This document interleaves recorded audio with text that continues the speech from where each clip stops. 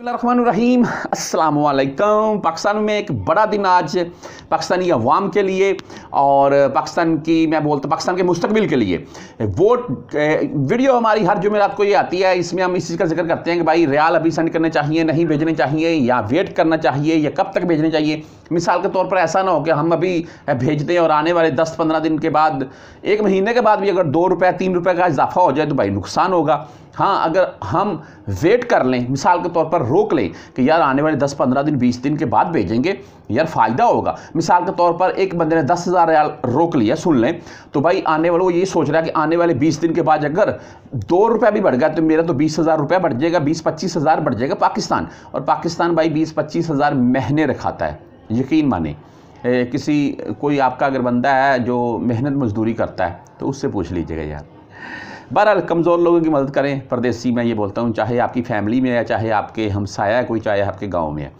अच्छा बहरहाल अल्लाह ताला की ज़ात परदेसियों को और दे जी अपने हिफ्ज़ो ईमान में रखे। अच्छा आ, उसके बाद मिसाल को तो बंदे ने ये सोच लिया कि मैं बीस दिन के बाद भेजूँ इसमें दो रुपये का तीन रुपये का इजाफा होगा मेरा पच्चीस तीस हज़ार रुपये बढ़ जाएगा यार। दस हज़ार रियाल उसने एक मिसाल के तौर पर रोक लिया। तो भाई अगर बीस पच्चीस दिन के बाद पंद्रह बीस दिन के बाद पच्चीस दिन के बाद रियाल रेट दो रुपये कम हो गया तो भाई आपका नुकसान हो गया। आपका बीस पच्चीस हज़ार तीस हज़ार का नुकसान हो गया। ये चीज़ है। तो हर जुमेरात को ये वीडियो हमारी आती है, उसमें इस वीडियो में इसी चीज़ का ज़िक्र करते हैं कि रियाल अभी भेजने चाहिए, अभी वेट करना चाहिए, या कब तक भेज देने चाहिए। यार, मैं बोलता हूँ, अगर किसी को दो हज़ार रुपये का भी फ़ायदा होता है जैसा कि मुख्तलिफ़ बैंक अभी फ़ीस नहीं ले रहे हैं, दस ते, सत्रह, तेईस रियाल फ़ीस जो लेते हैं बैंक, मुख्तलिफ़ बैंक फ़ीस नहीं ले इस वक्त आप किसी ऐसे बैंक से पैसे भेज रहे हैं, पाकिस्तान, जो फ़ीस नहीं ले रहा है तो आपको दो हज़ार रुपये तो सीधे सीधे वही बच रहे हैं, यानी कि तेईस रियाल, ठीक है? तो पाकिस्तान में बात वो कर रहा था मैं स्टार्टिंग में कि आज बड़ा दिन है पाकिस्तान के मुस्तबिल के लिए पाकिस्तानी कौम के लिए। अपना वोट वोट ज़रूर का, कास्ट कीजिएगा कास्ट कीजिएगा सॉरी और जिस पार्टी को मर्ज़ी दें ये आपकी मर्ज़ी है लेकिन आप अपना हक राय ज़रूर आज जाइएगा पोलिंग स्टेशन वहाँ पर कास्ट करें बंदों से मिलें। हाँ परदेसी भाई तो न्यूज़ ही देख सकते हैं। क्योंकि इलेक्शन तो भाई वोट तो कास्ट कर नहीं सकते, अभी तक अलाउड नहीं है। बहरहाल, न्यूज़ के मतलब आ जाते हैं जी। मैंने आपको मिसाल पहले भाइयों को बता दी है, दस हज़ार अगर किसी ने रोक लिया, बीस दिन के बाद दो तीन रुपये बढ़ गया, तीस हज़ार फ़ायदा हो जाएगा। दो तीन रुपये कम हो गया तो भाई तीस हज़ार का नुकसान हो जाएगा। लेकिन वीडियो के यहाँ पर मैं ये बात पूरी गारंटी से बोल रहा हूँ, मैं ये मेरी बात पल्ले बाँध लीजिएगा। ये अभी पाकिस्तान में चौहत्तर रेट दे रहे हैं, ये जो एजेंट बैठे हुए हैं, चौहत्तर पचास दे रहे थे, ये एक दो दिन के अंदर ही चौहत्तर के ऊपर आ गए हैं। कम रेट दे रहे हैं। और सऊदीया में भी रेल सॉरी रेट में 10 20 पैसे 25 पैसे तक कमी देखने को मिल रही है।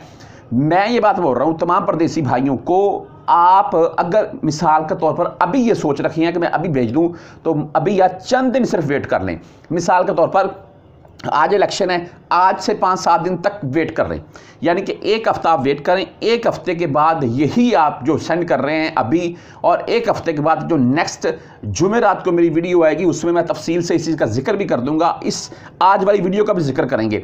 आज रेट बाई तिहत्तर, सत्तर, तिहत्तर, अस्सी, इस अराउंड में सऊदी की बात कर रहा हूँ मैं। पाकिस्तान में तकरीबन चौहत्तर दे रखे हैं बस एजेंट जो ओपन मार्केट वाले होते हैं। आने वाली जुमेरात को जो वीडियो लगाएँगे, उस समय मैं आपको क्लियर कट बता दूँगा कि भाई अभी सऊदीया में ये रेट पड़ा हुआ है, पाकिस्तान में ये पड़ा हुआ है। वो पिछली जुमेरात हम भेजते तो हमें ये रेट मिल रहा था, आज अगर भेजें तो ये रेट मिल रहा है। यानी कि जो फ़ायदा हमें होगा ना, वो आपको मैं उस वीडियो में कैलकुलेट करके बता दूँगा, और मेरा वीडियो के लास्ट में यही आपसे है जी, कि मेरे मुताबिक कि अभी आप रियाल मत सेंड करें हाँ अगर कोई भाई छुट्टी जा रहा है तो वो अपने साथ ले जाए।